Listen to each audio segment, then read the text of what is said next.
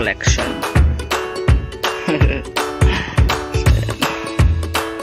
Yan. Sombrero natin. So, ah, bibili ako ng hangingan na medyo makaluwag-luwag sila. Basta yan. Punuin ko yan guys hanggang doon. Sa, yung hanggang doon sa may dulo. At mga ano, mga sombrero. Magpipili pa ako ng ibang design. Ayan. Pinakita ko sa inyo kanina notebook ko siya. So, ayan, ganyan ang gagawin ko.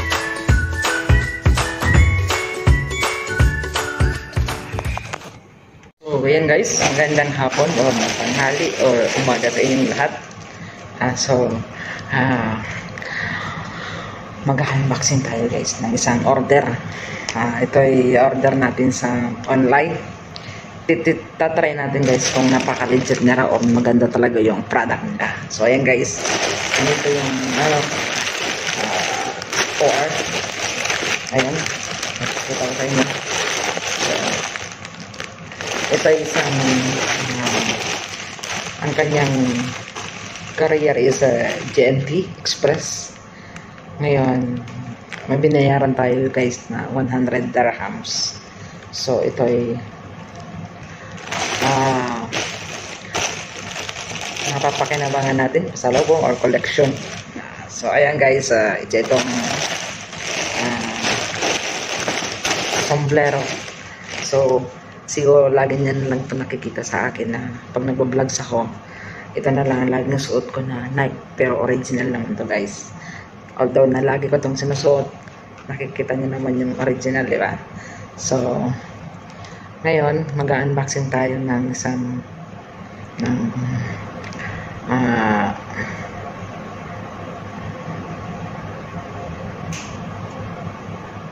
ng order natin. So, sisirain natin. What? Tara. So, order ko guys is um, ay maganda talaga siya. Sombrero siya. So, in-order natin ito ng isang araw. Nangungulit siya kung confirm na daw yung aking order. Sabi ko, wait lang. Ito ay Manila Fashion. Ang ang ano nito is Manila Fashion siguro galing pa sa Pilipinas or what di ko lang alam pero ang amount ng isa is uh, ayan natin from legit nga ba so so ayan guys uh, ay maganda rin siya. Ah, okay. So ayan. Maganda talaga. Maganda rin guys. Sim lang ng aking sombrero. So ito ay navy black navy black. So, palitan natin yung old na ano yun, uh, ito yung sombrero guys, knife. So, may sentimental value to. Napakadakilay. Napakatagal na nito sa akin. So, tatry natin yung Puma. Mag-mine kayo guys ha. Mag-mine kayo para. so, yan guys, Puma. Puma siya. So, maganda siya. Magandang quality. So, ang maya ilalagay natin din sa aking room. Sasabit-sabit tayo ng ating collection. So, ayan, Puma siya guys. Puma. Okay. Yung isa is Nike. Nike. Isa Nike. So, Nike. Oh, wow. Ayan na. Nike. Nike sa guys. Embroider siya na. Ganda. So, ito, Champs. So, ayan. Try natin lahat. Diba? Pogi na. So, ayan. So, ayan. Tatlo na yung ating na uh, ice black, uh, gray.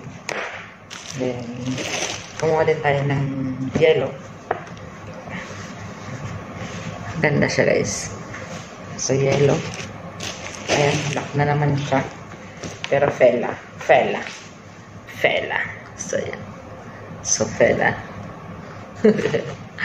Dami guys ha. So ito naman, Vans. Vans. Gusto ko kasi pag nasundalo ko yung may pa-curve pa. Vans. So ayan, Vans. So ayan, Vans. Ito naman, BL. VL. So, ayan, VL siya guys. VL. So, ayan, VL. So, ito, medyo gas. Ah, gas, gas. Yes. Gas, gas, gas. Gas, ayan, gas. Ganda. So, ito naman guys, Ferrari. Ferrari. Ayun, yung Ferrari ako. So, ayan, Ferrari siya. So, maganda. Ferrari. So, Ferrari. So, mula Ferrari. Blue. Ah, so. Collection natin guys, Adidas. Maganda siya. In fairness, legit siya. So, ayan. Maganda. So, lastly, Jordan. Jordan. So, Jordan. Wow, pogi ah. so, ayan guys. Okay. So, ayan. Maganda siya guys. Hindi lang, siguro, mapapalitan na natin yung ating sombrero na Nike. yung Nike natin is, ang tagal na kaya nito sa akin guys. More than 3 years. Or 4 years na. Ayan, hindi ko siya pinapalit. May buhok. oh, may buhok siya eh. Tatabi natin siya. Pero ito, in fairness, maganda yung Jordan. Ayan, Jordan. Jordan. So, so yun guys, maganda siya. So, legit siya. Legit. Pwede natin i- ano, pwede natin siyang i-promote. Online shop. So, ayan. Pwede siya natin siyang i-promote. Online shop. Ayan. Ganun. Okay. Ito din, Ferrari. Ferrari. Ang ano natin ito? Ang labas. Ferrari natin. Ganda siya. So, ayan. Marami tayong collection, guys. So, ulitin natin yung guys. Para parang meron siyang damage. Eh, hindi naman totally damage siya. Ganda naman. So, kailangan natin kailangan natin yung mga ganito. Ay, maganda siya.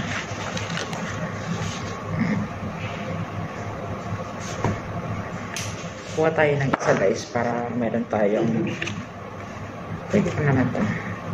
Stop back. Ayun mga siya. Ayan. So, thank you doon sa sa na pag-orderan natin ito. Ah, isang online online shop na legit. Hindi siya ano, ito? Maganda siya. Hindi katulad ng ibang online na maganda lang sa picture. Sa mga ina-upload nila, maganda lang sa mga ina-upload nila, pero hindi nakikita doon sa ah, output doon. Katulad nito, ah, hindi siya makikita na ganito talaga yung texture. Ito talaga yung texture niya doon sa ano ba? Doon sa sa ano niya sa picture ng ating order sa ating nakitang online na talagang totoo nakalagay kasi doon embroid embro siya embro siya. Akala ko nga hindi kasi pangit siya pag yung nakatatak lang. Medyo pangit. So ito embroid siya. Ang ganda siya. Then ito pala guys cotton. Parang katulad din lang ng Nike ko. Cotton siya. Makikita mo guys yung original pa original sa original guys is ganito di ba? Yung Nike niya. So may Nike ba tayo? So tingnan natin yung Nike niya. Ito yung mga imitation lang guys. Ito yung class A. Wala tayong Nike no? Ay meron. So ikaw compare natin guys yung Nike niya. At saka itong Nike na in order natin. So tingnan natin yung possibility na possibilidad na pagkakaiba. So tingnan nyo guys yung tatak niya yung logo niya dito is malayo ang pag malayo yung pagkakaiba niya, di ba? Tingnan nyo guys, yung original knife is ganito siya. So, kung i-compare natin yung order natin at saka yung binili natin na talagang nasa uh, cost yung napaka mahal siya.